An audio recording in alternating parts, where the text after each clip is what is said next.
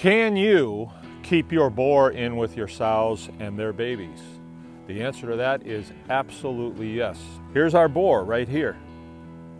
He's asleep, he's not dead, and the babies are in the hut here. Here's mom, and they have this nice little family. There's three sows in here, and two of them have farrowed. No problems. There never is any problems.